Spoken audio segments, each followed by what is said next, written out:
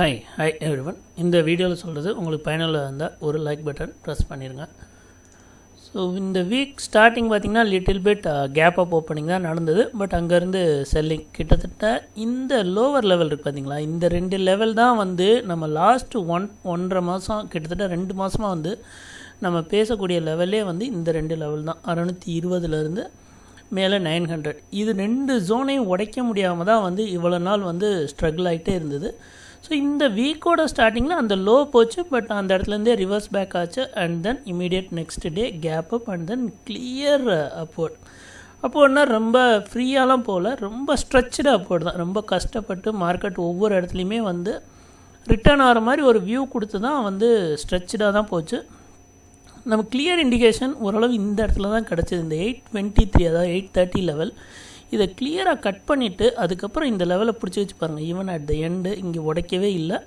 அதுக்கப்புறம் கிளியராக மேலே போயிடுச்சு ஸோ அதுக்கப்புறம் மெயின் இம்பார்ட்டன்ட் லெவல்னு பார்த்தீங்கன்னா இந்த எயிட் எயிட்டி இதுவும் வந்து ஒரு க்ரூசியல் லெவல் இதை கட் பண்ணிவிட்டு க்ளோஸ் பண்ணதுக்கப்புறம் இந்த நைன் ஹண்ட்ரடையும் கட் பண்ணிருச்சு. வியாழக்கிழமை என்ன சொல்லியிருந்தோம்னா ஈவன் தோ நமக்கு கட் பண்ணி க்ளோஸ் ஆயிடுச்சு பட் இன்னும் ஏன்னா இப்போ ஒரிஜினலாக வந்து இந்த ஒரு பிரேக் அவுட் நடக்கும்போது அந்த லெவலை பிரேக் அவுட் பண்ணிச்சுன்னா அங்கேருந்து ரேலி வந்து பார்த்திங்கன்னா பயங்கர அக்ரஸிவாக இருக்கும். பட் இன்னமும் வந்து நம்ம மார்க்கெட்டில் வந்து ஏன்னா அந்த ஓவர் பாட் ஜோனில் இருக்கோ மார்க்கெட் வந்து இப்போ இதே வந்து அறநூறு கீழே உடச்சி க்ளோஸ் ஆயிருந்ததுன்னு வச்சுக்கோங்களேன் இன்றைக்கி வந்து திருப்பி ஒரு இரநூறு பாயிண்ட் செல்லிங் சாலிடாக அதாவது இன்றைக்கோ இல்லை கம்மிங் டேஸில் ஈஸியாக வந்து உங்களுக்கு நடந்திருக்கும். ஏன்னா வந்து மார்க்கெட்டு இப்போ இருக்கிற எல்லா ஸ்டாக்ஸோட வேல்யூ வந்து கொஞ்சம் ஓவர் வேல்யூவாக இருக்குது கொஞ்சம் கீழே வரணுங்கிறதான் வந்து எல்லாரோட எக்ஸ்பெக்டேஷனும் ஸோ அது நடந்திருந்தது அப்படின்னா உங்களுக்கு ட்ராடவுன் வந்து ரொம்ப ஈஸியாக இருந்திருக்கும். பட் இது இத்தனை நாள் ஸ்ட்ரகிளுக்கு அப்புறம் ஆல் டைம் ஹையையும் உடச்சிருச்சு.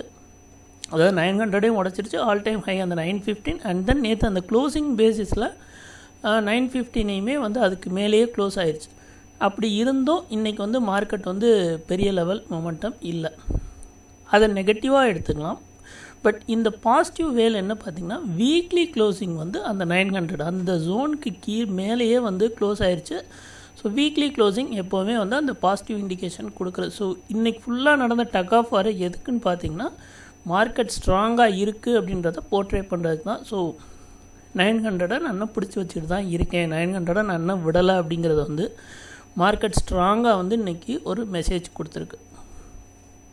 ஸோ ஆனால் என்னென்னா இந்த அதான் சொன்னேன் இப்போ டவுன் சைட்னா நம்ம நல்லா எதிர்பார்த்துருக்கலாம். பட் இது வந்து இனிமேல் கொஞ்சம் ஸ்ட்ரகிள் ஆகி தான் மேலே போகும். பட் அந்த இன்னும் வந்து செல்லிங்க்கு மார்க்கெட் திரும்பலை. அதுவும் நம்ம நைன் ஹண்ட்ரடுக்கு மேலே உட்காந்துருச்சு லிட்டில் பிட் நல்லாவே வந்து ஒரு பாசிட்டிவ் சிக்னல் மார்க்கெட்டுக்கு கொடுத்துருக்கு. ஸோ இதுக்கப்புறம் இந்த எயிட்டி எயிட்டிக்கு கீழே வராத வரைக்கும் ஷார்ட் சைடை பற்றி யோசிக்காதீங்க. மேலே நம்ம நேத்தியோட லெவல் தான். கொஞ்சம் மேலே போச்சு பட் இருந்தாலும் இன்னும் வந்து அது நைன் ஃபிஃப்டிக்கு மேலே தனியாக ஒரு கேண்டில் எதுவும் ஃபார்ம் ஆகலை. So nine forty and then கீழே பார்த்திங்கன்னா எயிட்டி எயிட்டி ஸோ நைன் ஃபார்ட்டிக்கு மேலே இருந்தாலே நம்ம வந்து லாங் சைடு தான் திரும்பி அகைன் மண்டே வந்துட்டு. ஸோ இப்போ எல்லோரும் என்ன நிறையா பண்ணாங்கன்னா அதாவது என்கிட்ட கொஸ்டின் பண்ணுறது என்னென்னா ஏற்கனவே வந்து எல்லா ஸ்டாக்குமே வந்து ஓவர் வேல்யூடாக இருக்குது இதுக்கப்புறம் மார்க்கெட்டை மேலே தூக்கிட்டு போகிற அளவுக்கு எந்த ஸ்டாக் டைமே ரூம் இல்லையே இது எப்படி போகும் அப்படிங்கிற மாதிரி கேட்டாங்க. நம்ம லாஸ்ட் வீக்கும் சரி டூ டேஸ்க்கு முன்னாடியுமே என்ன சொன்னீங்க பாருங்கள் ரிலையன்ஸ் இதுக்காக தான் அவங்க ஹோல்ட் பண்ணி வச்சுக்கிட்டே இருந்தாங்க. சப்போஸ் இப்போ மார்க்கெட்டை ஏற்றணும்னா இதை ஒரு டூலாக யூஸ் பண்ணிக்கிறவாங்க ஏன்னா வந்து ஒரு டுவெண்ட்டி ஃபிஃப்டி டுவெண்ட்டி எயிட்டி அதோட லோ கீழே கொண்டு போகும்போதுமே கூட பார்த்திங்கன்னா மார்க்கெட் கிட்டத்தட்ட ஆல் டைம் ஹையில் வச்சுருந்தாங்க. நேற்று பாருங்கள் இருபது எண்பது. இதோட ஹைலேருந்து இரநூறு பாயிண்ட் டவுன் த லைனில் இருக்குது பட் மார்க்கெட் ஆல் டைம் ஹையில் இருக்குது இது ஹெவி வெயிட் ஸ்டாக் வேறு. இவன் ஒருத்தனோட கான்ட்ரிபியூஷனே போதும் உங்களுக்கு வந்துட்டு. ஸோ இன்னும் ஒரு இரநூறு பாயிண்ட் இந்த ஸ்டாக்கை சப்போஸ் மேலே தூக்கிட்டு போகிறாங்க அப்படின்னா நிஃப்டி சாலிடாக இன்னொரு முந்நூறு பாயிண்ட் கூடவே மற்ற ஸ்டாக்ஸ் கொஞ்சம் சப்போர்ட் பண்ணாலே போதும். அண்ட் தென் இது முடியும் போது மற்ற ஸ்டாக்லலாம் கொஞ்சம் ப்ராஃபிட் புக்கிங் அண்ட் தென் மற்ற வேலையில் முடிக்கும் போது உங்களுக்கு அட்ஜஸ்ட் ஆகிக்கிறோம் அண்ட் தென் பார்த்தீங்கன்னா இப்போ ஹெச்டிஎஃப்சியோட ரிசல்ட் நாளைக்கு இருக்குது ஒருவேளை சப்போஸ் ரிசல்ட் ரொம்ப நல்லா இருந்ததுன்னு வச்சுக்கோங்க. இது இன்னொரு முந்நூறு பாயிண்ட் ஏறாது அப்படின்றத சொல்ல முடியாது. சி இது எதுவுமே அட்வைஸும் கிடையாது. நான் இங்கேருந்து மேலே போகும் அப்படிங்கிறக்காக சொல்லலை. பட் போகிறதுக்கு வழியே இல்லை போகவே போ ஏன்னா இது வந்து நம்ம நார்மலாக வந்து மார்க்கெட் இறங்கணும் அதிகமாக இருக்குது இறங்குச்சுன்னா நம்ம இன்வெஸ்ட் பண்ணலாம் பண்ணலாம்னு அந்த வெயிட் பண்ணுறாங்க பார்த்தீங்களா அவங்களுக்கு வந்து இதை வந்து அக்செப்ட் பண்ணிக்க முடியல. அந்த ரீசன்னால தான் மார்க்கெட் இறங்கணும் அப்படின்றாங்க. இறங்காதுன்னு சொல்ல முடியாது. பட் ஆனால் ஏன் ஏறக்கூடாது அப்படிங்கிறதுக்கான ரீசன்ஸ் மட்டும் நான் சொல்கிறேன் அவ்வளோதான் ஸோ இப்போ நல்லா இருக்குன்னா இது எயிட்டீன் ஹண்ட்ரட் வந்து இருந்தால் கூட நமக்கு அது ஃபேர் வேல்யூவாக தான் வந்து கன்சிடர் பண்ணுவாங்க வந்துட்டு. அண்ட் தென் ஐசிஐசிஐ பேங்க்கு அது இன்னமும் அது சிக்ஸ் சிக்ஸ்டியை ஹோல்ட் பண்ணி தான் இருப்பாருங்க ஈவன் தான் இன்றைக்கி செல்லிங் நடந்தாலும் க்ளோசிங் பேசிஸில் அறநூற்றி அறுபதுக்கு மேலேயே க்ளோஸ் பண்ணி க்ளோஸ் ஆயிடுச்சு. ஸோ இதுவும் ஒரு positive signal and then realty sectors இப்போ ரீசெண்ட் டைமில் பார்த்திங்கன்னா நல்லாவே பெர்ஃபார்ம் பண்ணிகிட்டு இருக்கு. ஸோ டிஎல்எஃப் வந்து கிட்டத்தட்ட இந்த ஒரு டென் டேஸ் ஒன் வீக்காக பார்த்தீங்கன்னா கிளியர் அப்வர்ட் ரேலியில் இருக்குது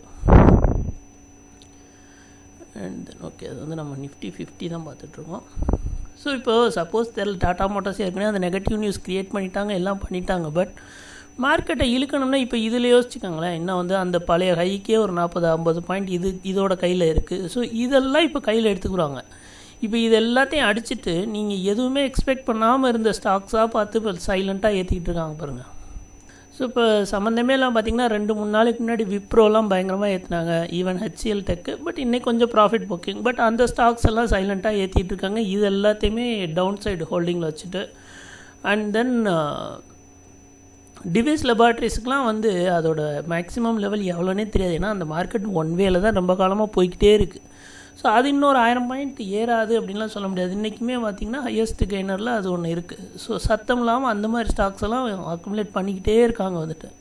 ஸோ அதில் செல்லர்ஸ் இல்லை ஃப்ரெஷ் பையர்ஸ் இருக்காங்கன்னா வேறு வழியில் ஏன்னா வந்து டிஃபென்சிவ் போகிறாங்க நிறைய பேர் வந்து என்னென்னா ஓகே இதுக்கப்புறம் மார்க்கெட் விழுந்துருச்சுன்னா என்ன பண்ணுறாங்க ஒன்று வந்து எஃப்எம்சிஜி இல்லைன்னா ஃபார்மா அந்த மாதிரி போயிடுவாங்க ஒரு குரூப் அதை விட்டால் ஐடி போயிடுவாங்க ஏன்னா ஐடி எப்போவுமே வந்து மார்க்கெட் இறங்கும் போது டாலர் இண்டெக்ஸ் ஏறும். ஸோ அந்த பர்ஸ்பெக்டிவில் பார்த்தீங்கன்னா இப்போ டிசிஎஸ் இன்ஃபி அது ரெண்டுமே பெருசாலாம் ஒன்றும் ஆக்சுவலாக பார்த்தீங்கன்னா அது ஏறி இருந்ததுக்கு வந்திருந்த ரிசல்ட்லேருந்து நார்மல் டேஸாக இருந்து மார்க்கெட் ஒரு நெகட்டிவ் ஜோனில் இருந்ததுன்னு வச்சுக்கோங்களேன். சாலிடாக இது வந்து ஃப்ரீ ஃபால் ஆகிருக்கணும் அதாவது ஒரு அஞ்சு பர்சன்டேஜ் பத்து பர்சன்டேஜ் ரெண்டு ஸ்டாக்குமே விழுந்திருக்கணும் பட் நடக்கலை. ஏன்னா வந்து நான் ரிசல்ட் பேடுன்னு சொல்ல ஆனால் அந்த ரிசல்ட்டுக்கான ரேலி நீங்கள் இங்கே பாருங்கள் இன்ஃபீக்கு வந்து நம்ம ரொம்ப நாள் சொன்னது இதுதான். இதில் பார்த்தீங்கன்னா உங்களுக்கு தெரியும். இப்போது இது எங்கன்னு பார்த்துக்கோங்க. மே மந்த் மிடில் இருந்து உங்களுக்கு இந்த ரேலி முடிச்சிட்டாங்க கிட்டத்தட்ட ஒரு இருபது பர்சன்டேஜுக்கு மேலே ஏறிடுச்சு. இப்போவுமே அக்ரஸிவ் ரேலி இல்லை. பட் ஆனால் இந்த ரேலி இவ்வளோ தூரம் அவங்க கொடுத்ததுக்கான ரிசல்ட் வந்து ரொம்ப எக்ஸ்ட்ரானரியெல்லாம் ஒன்றும் இல்லை. ஸோ அப்படி இருக்கும்போது normal market and then negative market bear மார்க்கெட்டாக இருந்திருந்தால் இது ஒரு அஞ்சு பர்சன்டேஜ் பத்து பர்சன்டேஜ் வந்துருக்கு ஈவன் டிசிஎஸ் வந்து எக்ஸ்பெக்டடோட கீழே தான் ரிசல்ட் சொல்லியிருக்காங்க. பட் அந்த ஸ்டாக்கும் பெருசாக பீட் அண்ட் டவுன் ஆகலை. ஸோ இப்போ இந்த ஜோனில் தான் இப்போ இருக்கணும். கரெக்டாக பார்த்தீங்கன்னா இது நம்ம லாஸ்ட் டைம் போட்டது. ஸோ இது கட் ஆகலைன்னா திருப்பி இதில் ஒரு ரூம் இருக்குது மேலே ஏறுறதுக்கு இது எல்லாமே வந்து நான் பாசிபிள் இருக்குன்னு தான் சொல்கிறேன் நான் வந்து மார்க்கெட் கம்பல்சரியாக மேலே ஏறும்னு சொல்ல ஏன்னா நிறைய பேர் வந்து நீங்கள் வந்து சொன்னீங்களே மார்க்கெட் வந்து இது பிரேக் அவுட் ஆயிடுச்சுன்னா மேலே ஏறணும். சி மார்க்கெட் வந்து ப்ராபபிலிட்டி கேம் தான். அப்படி இல்லைன்னா நீங்கள் வந்து ஏதாவது ஒரு ஸ்ட்ராட்டஜி அல்லது நம்ம இந்த ஸ்ட்ராங்கிலோ ஏதோ ஒரு செல்லிங் சைடில் வித்து ப்ராப்பர் ஹெட்ஜிங்கோட நீங்கள் கரெக்டாக அடிச்சிங்கன்னா உங்களுக்கு வந்து எந்த ஒரு சுச்சுவேஷன்லையுமே பிரச்சனை இல்லை. ஸோ இப்படி சொன்னதுனால இப்படி தான் போகுமா அப்படின்னு கேட்டிங்கன்னா இது வந்து இதுக்கான ப்ராபபிலிட்டி இப்போ அதிகம். மார்க்கெட் வந்து கிளியராக மேலே உட்காந்துருக்கு ஸோ ஓகே நான் வந்து பாசிட்டிவாக இருக்கேன்னு ஒரு இண்டிகேட் பண்ணுது.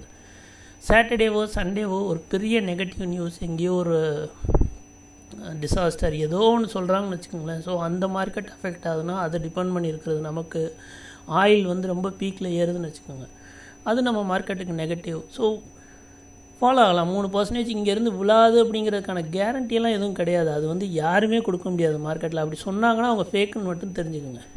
பட் டெக்னிக்கலாக கரண்ட் க்ளோசிங் கரண்ட் வியூ படி அதுவும் இல்லாமல் நம்ம எந்த மார்க்கெட்லேயுமே நான் வந்து ஒன் வே சொன்னதே கிடையாது. நீங்கள் இப்போ இதுலேயுமே கூட நான் என்ன சொன்னேன்? எயிட் எயிட்டி கீழே இருந்தால் போச்சுன்னா ஷார்ட் அவ்வளோதான் இது இப்படியே மேலே போகுன்றது வந்து எனக்குமே தெரியாது.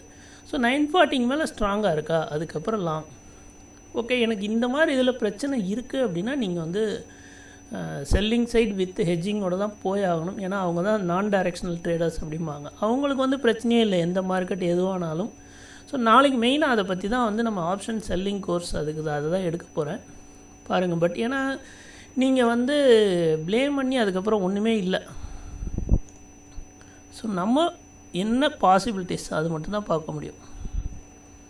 ஓகேங்களா அடுத்து ஸ்டேட் பேங்க்கு இதுலேயும் கொஞ்சம் ரூம் இருக்குது இன்னுமே வந்துட்டு ஸ்ட்ராங்காக தான் இருக்குது ஸ்டாக்கு ஸோ ரிசல்ட்டும் சப்போஸ் நல்லா வந்துருச்சுன்னா இது இன்னும் ஐம்பது பாயிண்ட் நூறு பாயிண்ட் ஏறாங்கிறதுக்கான கேரண்டி கிடையாது. ஸோ நமக்கு என்னென்னா ஒரு லெவல் நம்ம விட்டுட்டோம் அதை வாங்காமல் விட்டுட்டோம் அந்த லெவல் போச்சுன்னா திருப்பி பை பண்ணுவோம் அப்படிங்கிற ஒரு திங்கிங்லேயே நம்ம இருக்கிறோம். ஸோ அதனால் அதுக்கு மேலே மார்க்கெட் போக போக எல்லாமே நமக்கு அது ஓவர் வேல்யூவேஷனாகவே தெரிஞ்சுக்கிட்டே இருக்கும் கண்ணில். டுவெல் தௌசண்ட் திருப்பி வரும்னு எக்ஸ்பெக்ட் பண்ணாங்க. சைலண்ட்டாக வந்து வந்து ஃபோர்டீன் தௌசண்ட் அந்த ஃபைவ் ஹண்ட்ரட் அந்த ரேஞ்சில் இருந்தது.